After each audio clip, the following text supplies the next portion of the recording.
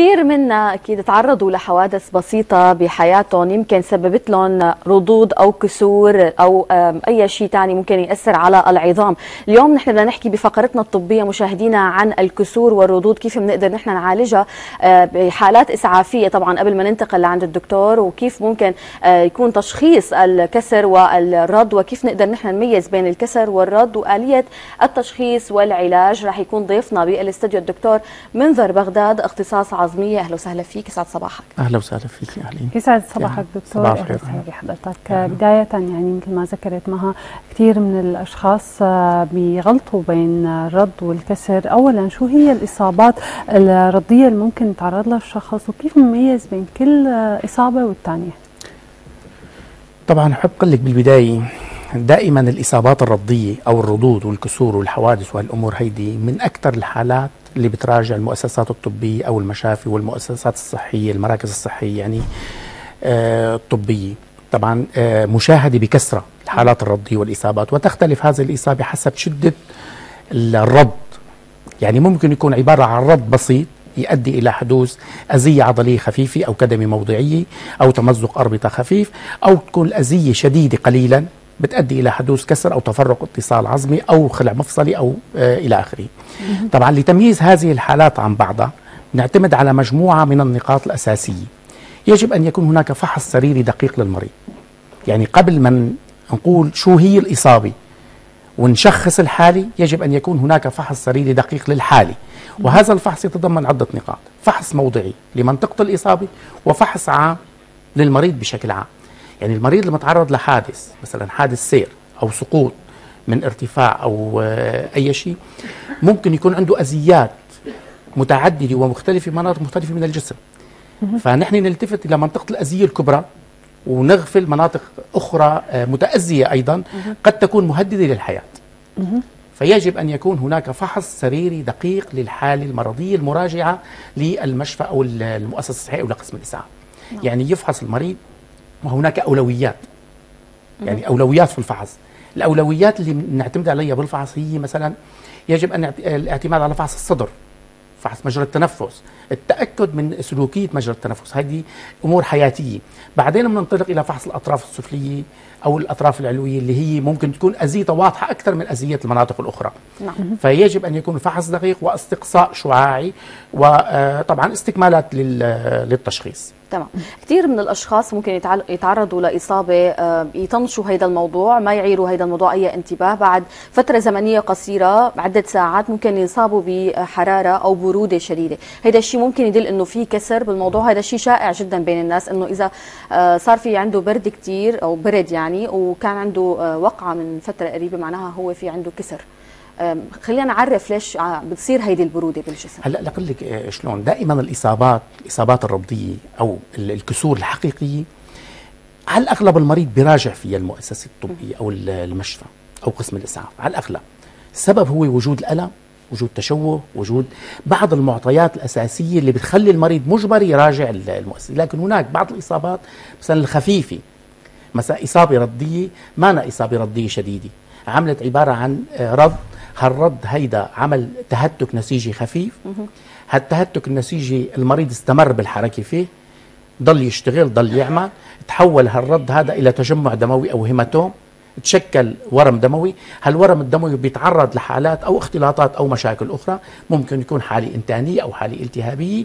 تحول من ورم دموي لخراج مثلا.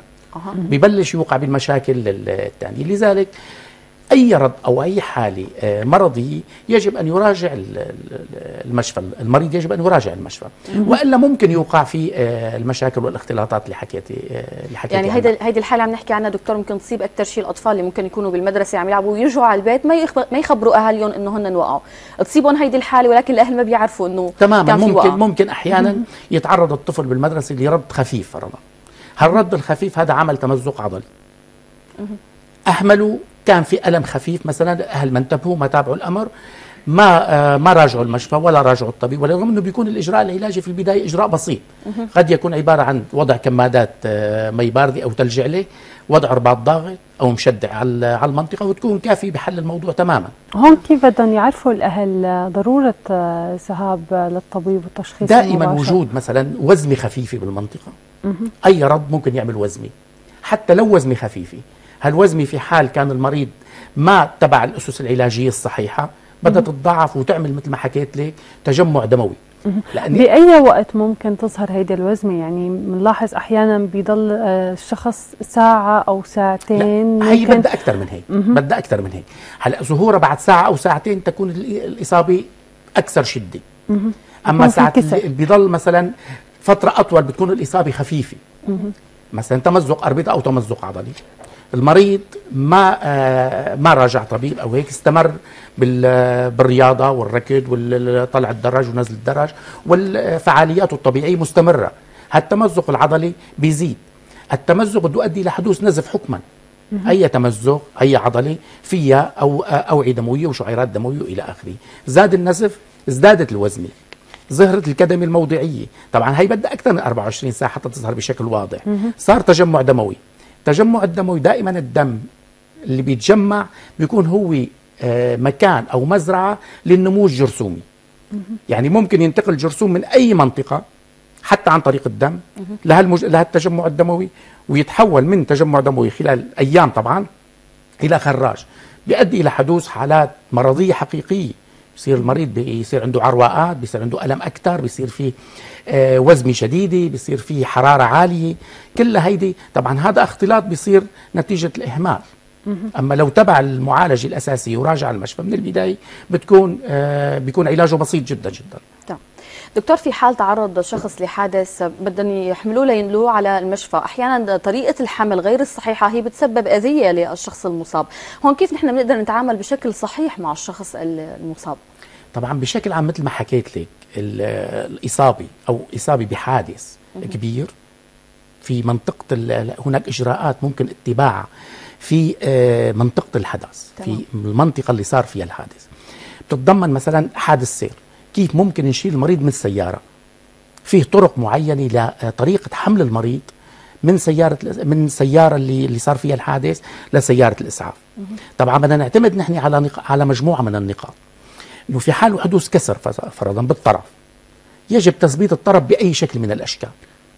طبعا السبب ساعة اللي بيصير في كسر بالعظم بتصير آه، حواف الكسر حادة جدا. يعني بتصير مثل حد السكين. ممكن تأذي كل المكونات التشريحية الموجودة في الطرف. يعني في بالطرف عضلات في أوتار في أربطة في آه، أوعية دموية في أعصاب. هل الأعصاب والأوعية ممكن تنأذى؟ بحواف الكسر. إذا صار في حركة أثناء نقل المريض. يعني أثناء نقل المريض مثلا. آه، مسك المريض بطريقة خاطئة صار في حركة في منطقة الكسر ممكن هيدي تؤدي لحدوث أذية في الشريان المغذي للطرف اللي بينقل الدم للطرف وبالتالي ممكن يهدد الطرف ويصير بتر للطرف ويكون السبب هو طريقة النقل الخاطئة. لذلك لازم نعتمد بهالحالة على التثبيت. طبعا طرق التثبيت مختلفة ممكن تكون نعتمد على طرق بدائية جدا. يعني مثلا هي حالات ممكن إسعافية بنعتبرها بموقع الحدث. بموقع الحدث تماما.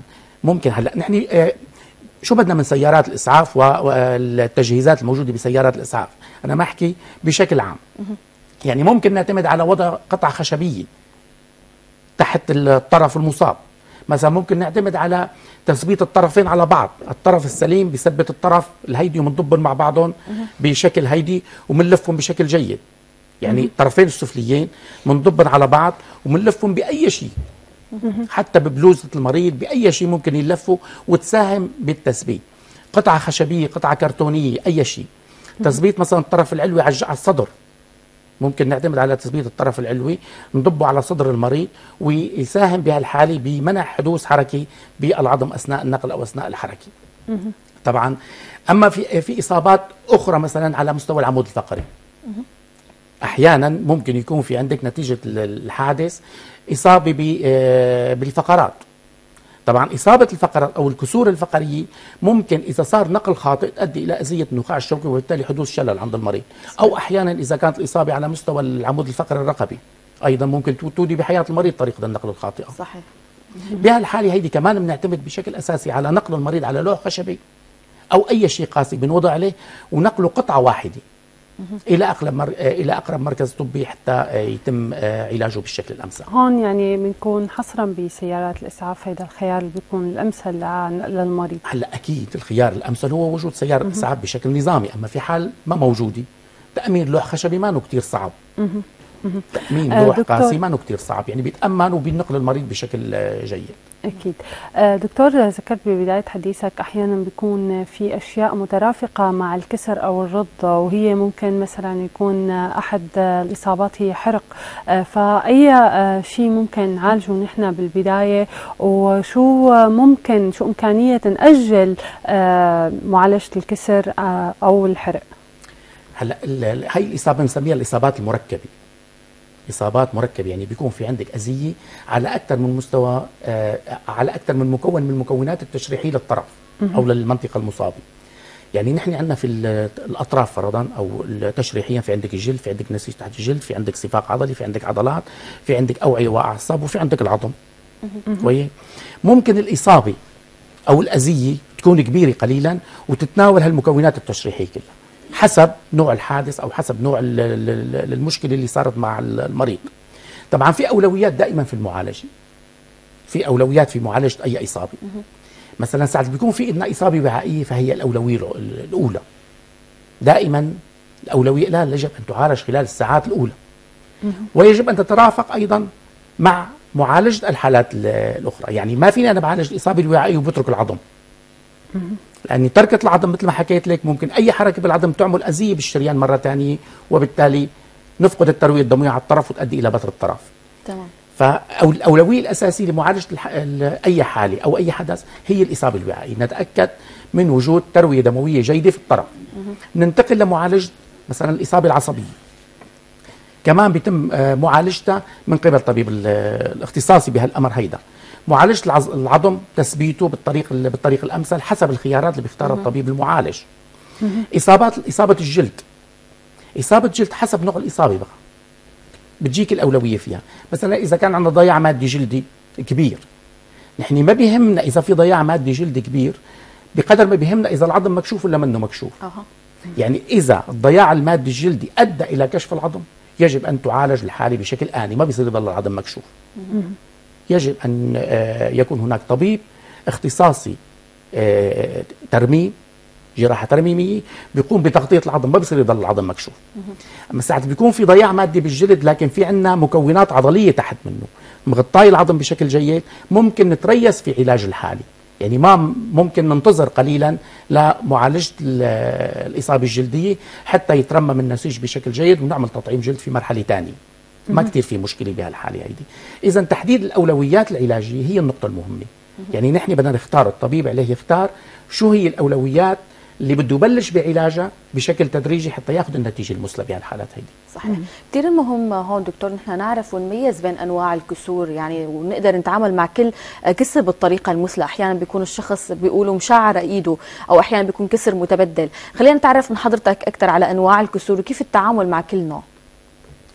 طبعا هلأ في التصانيف العلمية طبعا نحن ما فينا نحكي بالتصانيف العلمية لأنه المشاهد بهمه يعرف بعض النقاط الأساسية وليس التصانيف صحيح. العلمية المعقدة قليلا اللي هي بتتدخل نحن عندنا في في طرق العلاج. نعم.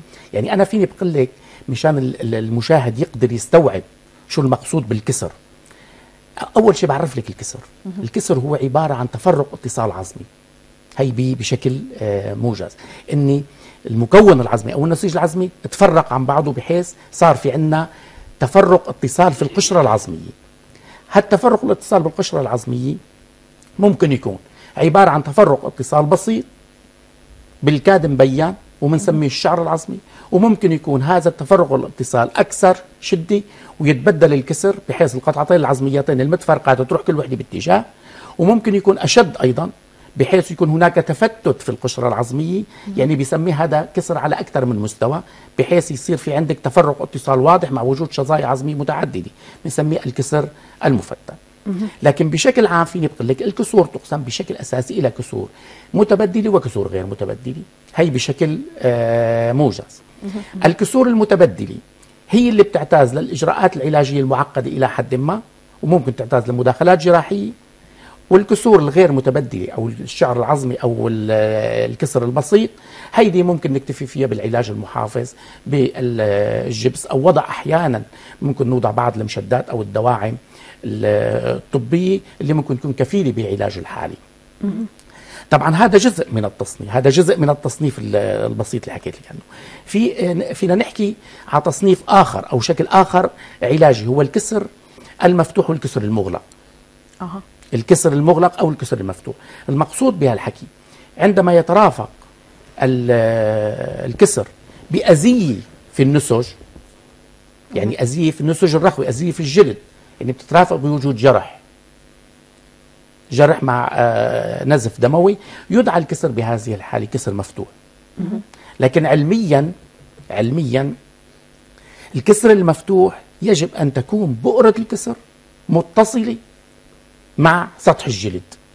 يعني ما كل الكسر مترافق بجرح هو كسر مفتوح.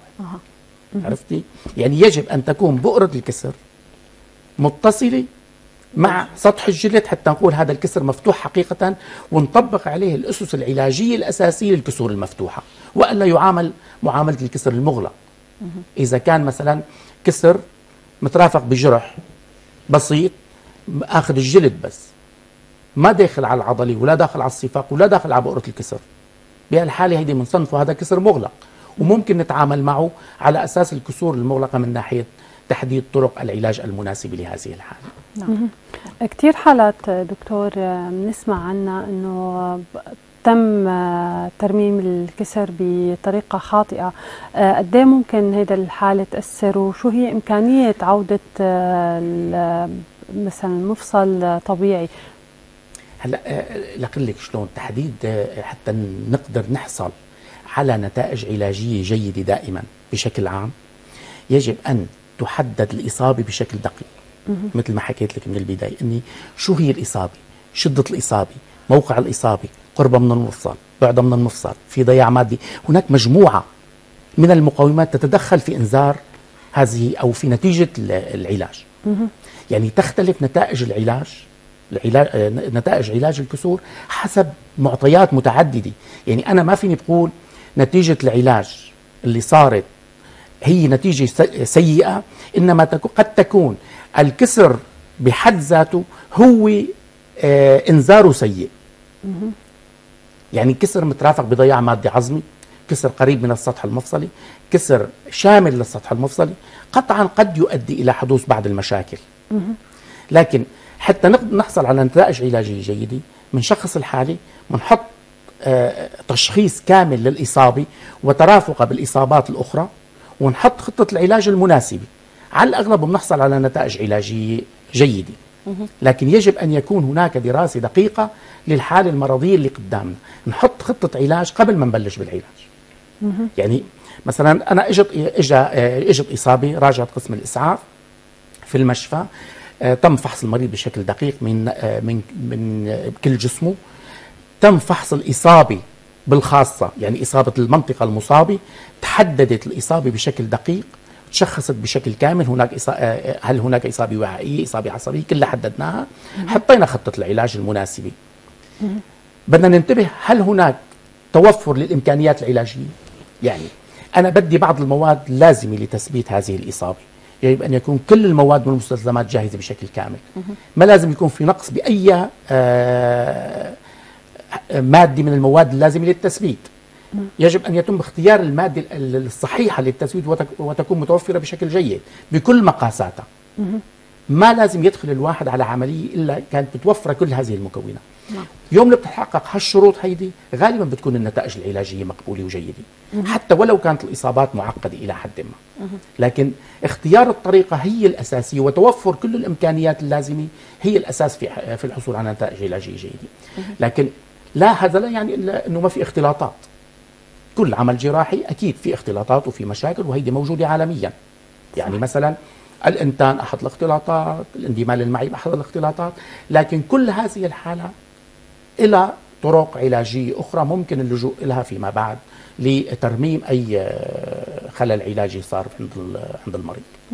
كثير مهم دكتور نسلط الضوء على الأخطاء الشائعة والمعتقدات الشائعة بين الناس. كثير بنسمع إنه حدا كسرت إيده أو رجله بيتركوا الجبيرة بحسب عمره. يعني حدا عمره 15 سنة بيتركوا له الجبيرة 15 يوم 16 سنة 16 يوم. برأيك هذا المعتقد صحيح؟ وطبعا الأهل هون بيتصرفوا بدون اللجوء للطبيب. هيدا الشيء هيدي القصة أنا برأيي منا دقيقة جدا جدا لكن هذا عرف.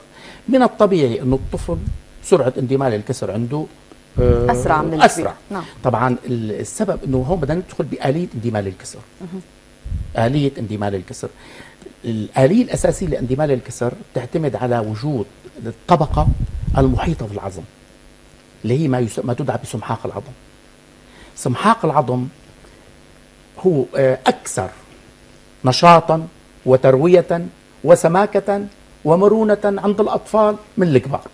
يعني مع تقدم العمر هالطبقة المغلفة للعظم اللي هي إلى الدور الأساسي في عملية الاندماج تصبح أكثر أو أكثر فقر في التروية الدموية. يعني تصير تروية الدموية أضعف أما عند الأطفال بتكون تروية الدموية غزيرة.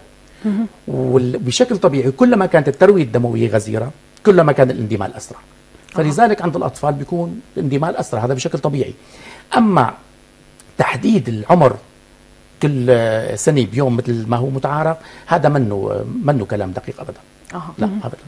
دكتور كثير بنسمع في مناطق معينة من الجسم في حال تعرضت لكسور أو ردود لا يتم معالجتها بأي طريقة وإنما الراحة فقط.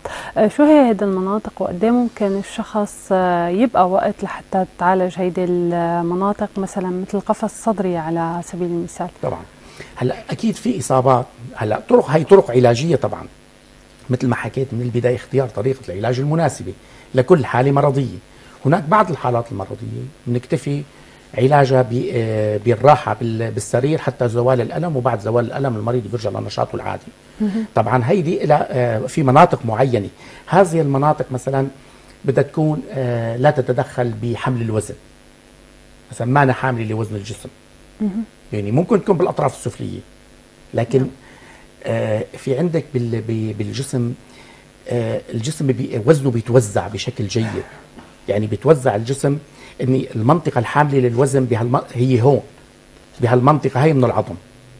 وجود الكسر في منطقة أخرى ممكن يكون ما له دور كثير مهم بحمل الوزن وبالتالي بنكتفي بعلاجه بالراحة التامة بالسرير مثلا كسور الشعب الوركي العنيه بالحوض. ممكن إذا ما ترافقت بإصابات أخرى نكتفي براحة تامة في السرير لمدة 20 25 يوم مع شوية أدوية ومسكنات ومضادات وزمي وتكون كفيلة بإنهاء العلاج. مثلا كسور فقرة انضغاط فقرة مع آه ما في أي إصابات أخرى لا إصابة عصبية ولا شيء. ممكن نكتفي كمان بعلاجها بالراحة التامة في السرير مع مشدات طبية حتى زوال الألم. في الأضلاع أيضا مثلا كسور آه ضلع أو ضلعين آه ممكن نكتفي بإعطاء المريض المسكنات ومضادات الوزمة آه، والراحة التامة حتى زوال الألم أيضا. يعني في عندك إصابات كثيرة ممكن يكون العلاج هو بس راحة. هلا في عندك الكسور الانقلاعية فرضا اللي هي أنا بعتبرها مثل مثل تمزق الأربطة. آه. كمان ممكن يكون علاجها هو عبارة عن راحة تامة حتى زوال الألم ومع إعطاء المسكنات ومضادات الوزمة إذا في حالات علاجية بتكون عبارة عن راحة بس. هيدي العلاقة بتحديد آه، الكسر منطقة الكسر شو دور العظم المكسور بالنسبة لجسم الإنسان وتحديد خطة العلاج المناسبة بهالحالة هيدي تمام. قد إيه مهم دكتور نعمل إعادة تأهيل للطرف المكسور بعد التئام الكسر؟ هيدي نقطة مهمة جدا جدا. دائما إعادة التأهيل. هلأ المريض المصاب بكسر آه، إعادة تأهيله فيها معاناة حقيقية. طبعا المعاناة أنا برأيي بتنبع من عدة من عدة نقاط. أول نقطة هي التأهيل النفسي للمريض. صحيح. يعني المريض المصاب بكسر وخصوصي إذا كان في سن النشاط والحركة ولا هيدا بدك تعيديه للمجتمع يدخل بالمجتمع من أول وجديد. في ناس كثير كثير في عندهم معاناة حقيقية نتيجة قعدتهم بالسرير مثلا فترة طويلة وخصوصي في الإصابات الكبيرة. يوم اللي بيكون في عندك إصابة كبيرة مثلا تضطر تحطي جهاز تثبيت خارجي هالجهاز التثبيت بنعالج فيه النسج الرخوي انتهينا من علاج النسج الرخوي بدنا نرجع نعالج العظم بدنا نضطر نحط تطعيم عظمي. اذا مسيرة علاجية طويلة قد تستمر سنة. تأهيل المريض نفسيا نقطة مهمة جدا جدا بهالحالات هي. إعادته للمجتمع نقطة مهمة جدا. بغض النظر عن إعادة تأهيل الطرف اللي كمان نقطة مهمة أيوه واساسيه يعني إعادة تأهيل الطرف تتضمن إجراء علاجات فيزيائية قد تستمر لمدة آه، شهرين أو ثلاثة شهور حتى تقدر ترجع المريض للوضع الطبيعي. آه، أحيانا خوف المريض. بيقتضي تدخل أطباء نفسيين حتى يقدروا يطلعوه للمريض من الخوف اللي هو فيه. وخصوصي كون المريض تألم في بيخاف من الألم كثير بالتالي ما بيعمل حركة. قلة الحركة بتعمل ضمور عضلي بتعمل يبوسي مفصلية بدك ترجعي تأهلي المفصل. بإجراء حركات تمارين تنبيه عضلي. بدك ترجع المكونات التشريحيه لوضعها الطبيعي. هيدا بده إعادة تأهيل ويستمر فترة طويلة. المفاصل مثلا اليبوسات المفصلية اللي بيكون مثلا بعد الجبس. تثبيت بالجبسين ممكن المفصل يصير فيه يبوسه مفصلية. بدك تضطري تعملي إعادة تأهيل المفصل وتحريك تدريجي للمفصل ما بيصير يكون في تحريك عنيف. بدك تأهليه من خلال إجراء معالجات فيزيائية تدريجية وبيد خبيرة. تحتاج إلى خبرة ومراكز طبية آه، علاجية بهالأمر هي. وتحتاج لتجهيزات آه، مهمة. قد تكون فترة العلاج الفيزيائي طويلة يمكن كمان. إيه طبعا. مثلا المريض اللي بيتركب له مفصل صناعي أحيانا في بعض الكسور بنضطر نحن نركب مفصل صناعي بدل المفصل الطبيعي. هدول بيحتاجوا لإعادة تأهيل جيد. ومراكز علاجية علاج مراكز علاج فيزيائية مهمة حتى تقدري تأهلي المريض وترجعيه. وخصوصي في عندك الإصابة بعض الإصابات بيكونوا مرضى كبار بالسن. صحيح. فهني عندهم مشاكل سلفا. ضعف عضلي ضمور عضلي عندهم إصابات عصبية أحيانا عندهم خزل شقي. بنضطر مثلا نركب له مفصل. هذا إذا ما تم تأهيله بشكل جيد. من قبل المعالجين الفيزيائيين وكان في مركز علاج فيزيائي مهم. ممكن ما ما يؤدي إلى نتيجة جيدة، النتيجه العلاجيه تكون سيئة. وتكون العمل الجراحي جيد بشكل عام. ونتيجته العلاجيه جيدة كعمل جراحي وكصورة شعاعية. لكن المريض ما عمل حركة جيدة. طبعا إعادة تأهيله بتتم من خلال المراكز مراكز العلاج الفيزيائي. طب دكتور خلال حديثك ذكرت إنه ممكن تستمر فترة العلاج ثلاث شهور ست شهور أحيانا أكثر حسب نوع الإصابة وخطورتها، هذا الموضوع قد إيه ممكن نحن نكون على تواصل مع المريض في حال إذا بده يحرك طرف من أطرافه أو التغذيه الدمويه للطرف المكسور، هل ممكن نحن يكون في تدليك معين؟ شيء يريحه أو يخلي دائما في حركة بالعضو المكسور بالطرف. هلأ مثل ما حكيت لك بعد ما بتحطي خطة العلاج المناسبة للمريض تحديد فترة الاندماج. تحديد فترة الاندماج هناك زمن محدد لالتئام الكسر فيزيولوجيا. يعني مراحل اندمال الكسر بتتم بمراحل. هذه المراحل مهما كان الكسر بدها تمر فيها. يعني مرحلة مثلا بالبداية العلقة الدموية أو الورم الدموي بعدين بيتحول لدشبذ ليفي دشبذ آه عبارة عن نسيج ليفي بيتوضع عليه الكلس بيتحول لدشبذ عظمي بيصير البلش الكسر يمسك حاله بيتقوى هذا الدشبذ العظمي بشكل تدريجي وبيمر بالمرحلة الأخيرة بمرحلة إعادة التكون بياخذ ببلش ياخذ العظم الشكل الطبيعي له. هيدي بشكل عام أي كسر بده يمر بهذه المراحل. لكن إذا كان كسر مثلا في ضياع مادي عظمي شو معنى ضياع مادة عظمية يعني في فقدان بالعظم. يعني عندنا قطعتين عظميات وفي منطقة فارغة من العظم. العظم بعيد عن بعضه قليلا. ما فيه تماس عظمي بنضطر نحط طعوم عظمية هذه حكما بدها تتأخر عملية الاندماج لأنه هيدي بدها تاخذ وقت أطول حتى يتعبى هالفراغ اللي صار نتيجة وجود الضياع المادي العظمي بهالحالات هيدي حكما بده يترافق تترافق الحالة بوجود بعض الاختلاطات المفصلية والضمور العضلي والاضطرابات الاغتذائيه في الطرف. يعني الطرف اللي بده يتثبت وبده يكون المريض قاعد فيه بالسرير ما عم بيتحرك كثير حكما بدها تكون التروية الدموية فيه أو حركة الجريان الدموي في الطرف أبطأ. صحيح. يعني الإنسان اللي عم يمشي بيكون جريان الدم عنده أسرع من الإنسان القاعد. وبالتالي هذا بده إعادة تأهيل أيضا لإعادة التروية الدموية للطرف من خلال الكلام اللي حكيت لك إياه والعلاج الفيزيائي والتمارين إضافة إلى بعض الإجراءات الأخرى. يعني ممكن نعمل نحن إذا المريض ما قدرنا نحركه. يعني ما قدرنا نخليه يتحرك على العكازات أو آه، نمشيه بمراكز العلاج الفيزيائي. ممكن نعمل له علاج فيزيائي هو بالسرير يعني مجرد ما أنا اعمل له حركات فاعلة أو منفعلة للطرف أو للأصابع أو للقدم أو للكاحل أو للركبه أو للورك أو للطرف العلوي. هيدي بتساهم في تنشيط الدوران الدموي. نلاحظ أحيانا بعض الكسور مثلا بيقولوا إذا كان الإيد مكسورة دائما حركوا الأصابع بهيدا الشكل لحتى يكون في فهيدا الموضوع قد مهم. مهم جدا الحركة المبكرة بخصوص إذا كانت الإصابة جزئية خفيفة ما مترافقة بأذيات وترية ولا أذيات آه، عضلية أخرى. الحركة المبكرة كثير مهمة في المحافظة على المقويه العضلية. اليوم اللي بتثبت الطرف بالجبسين أو بالجبس لفتره فترة طويلة حكم العضلة بدها تضمر لكن يوم اللي بيعمل المريض هذه الحركة بشكل متواصل بيحافظ على المقويه العضلية. العضلة ما بتضمر بهالحالة أو لو ضمرت بيكون ضمورها أخف. غير هيك بيحافظ على ليونة المفاصل. يعني يوم اللي بتثبت مريض بالجبس إذا ما حرك أصابعه حكما هون ما في أذية. الأذية مثلا فوق. لكن الجبسين واصل لهون ممكن بده يصير يبوسي في المفاصل هي. صحيح. يبوسة المفاصل شو بتجر وراها؟ من مشاكل أخرى. سواء على العظم المكسور أو غير المكسور. ممكن يصير في عنده آه، بيسموه ترقق عظم نتيجة عدم الاستعمال إنه المريض ما استعمل الطرف دخل في آه، مشاكل نقص الكثافة العظمية. يبوسة المفاصل واضطرابات اغتذائية أخرى يعني بتصير بدنا نحكي فيها هي أكثر تعقيدا. متلازمات معقدة إلى حد ما بدها طرق علاجية مختلفة بصير.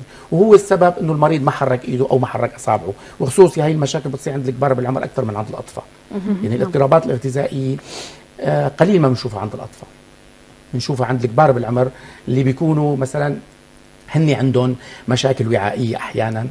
عندهم خوف من الحركة بخافوا من الألم كثير التثبيت الخاطئ للجبس أحيانا بنوضع الجبسين بطريقة شوي آه، خاطئة بوضعيات ما صحيحة ممكن تؤدي إلى حدوث أو آه، حدوث هذه المشاكل بشكل أوضح وأكثر. طيب دكتور طالما عم نحكي عن الكسور بالأطراف العليا باليدين، كثير بنسمع إنه أو بنشوف الدكتور بيقول للمريض إنه لازم تبقى الإيد مثبتة على الصدر آه، بالحامل، ف أغلب الأشخاص بيشيلوه بيصيروا يتحركوا بشكل طبيعي وبينسوا إنه إيدهم مكسورة.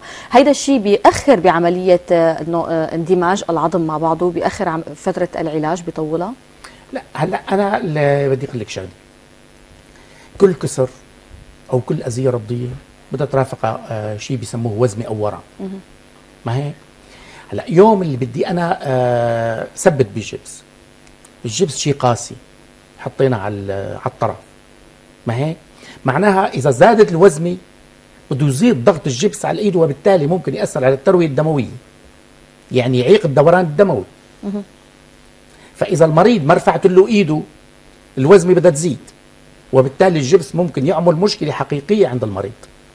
ويؤدي إلى حدوث آه، مشكلة كبيرة في في بعض الحالات.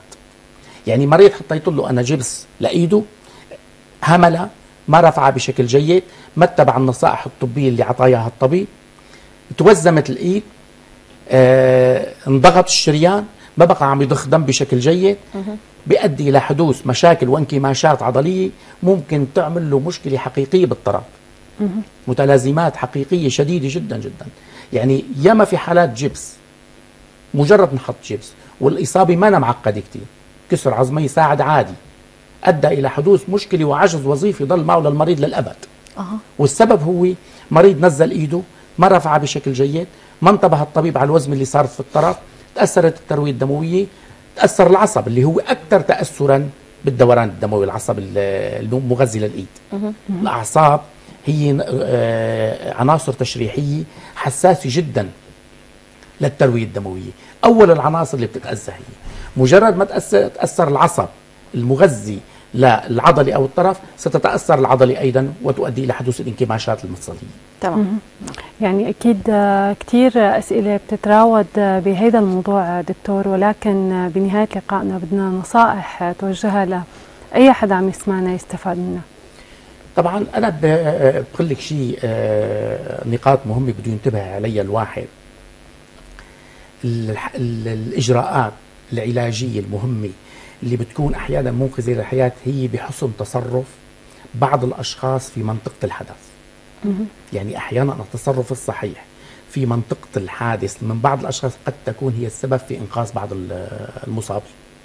مثلا مثل ما حكيت لك من البداية هو تأمين مجرى تنفسي جيد.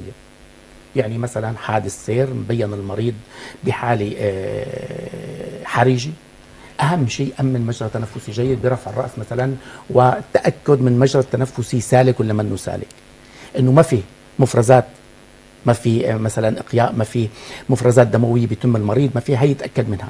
بشيل كافة المعيقات للجريان التنفسي ربطات عنق أو شيء كله بيشيلها بيحاول يحرر العنق بشكل جيد. هي إجراءات ممكن يكون فيها أي شخص.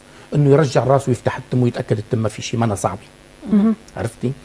بينتقل للنقطة الثانية هي المنطقة المصابة بالأذية وتثبيتها بشكل جيد لنقل المريض إلى الهيدي في حال وجود جروح أو إصابات آه، وعائية نازفة مانا كمان كثير صعبة في إنه الواحد يوضع أي قطعة نظيفة على منطقة الإصابة ويحط فوق رباط ضاغط. كمان بيكون أمن إني ما بقى في عندي نزف بالحد الأدنى حتى يكون وصل المريض لو ضغط عليه زيادة. لو ضغط عليه لدرجة إنه ممكن يفكر إني أنا منعت الدوران الدموي عن الطرف. ما في مشكلة. ليكون وصل المريض إلى مركز الإسعاف أو للمشفى بيتم تحرير الطرف والتأكد والإرقاء الجيد للأوعية الدموية. بس بيكون بهالحالة أمن آه، منع حدوث نزف بالمنطقة. هناك بعض هالإجراءات هيدي كثير مهمة في إنقاذ حياة المريض لحد ما يوصل على المشفى. أنا بقول شغلي إنه هذه المستلزمات ممكن الواحد يحطها معه دائما بشكل دائم في سيارات في السيارة. إنه ممكن يحط بعض المكونات الأساسية الحقيبه الاسعافيه اللي أحيانا بيصروا عليها البعض إنه يجب أن تكون موجودة. وبتتضمن بعض النقاط الصغيرة. يعني سواء كانت عبارة عن آه، رباط ضاغط مثلا بعض القطع القماشية النظيفة اللي ممكن تحطها على منطقة النزف وبنت شاش معقمات هيك شغلات ممكن تنحط بأي سيارة آه، سيارة بيتم استعمالها بهاللحظات هيدي. وبالتالي الاستفادة منها وتكون هي سبب في إنقاذ حياة المريض أحيانا. أكيد. نحن كثير بدنا نتشكر وجودك معنا لليوم دكتور منذر بغداد اختصاص عظمية. شكرا لك ويسعد صباحك. أهلا وسهلا فيكم. أهلا أكيد. أهلا. شكرا لوجودك معنا وللمعلومات اللي اعطيتنا إياها. إن شاء الله عدد كبير من المشاهدين يكونوا استفادوا من هيدا المعلومات ويتقيدوا فيها. وإن شاء الله السلامة للجميع. يا هلا أهلا.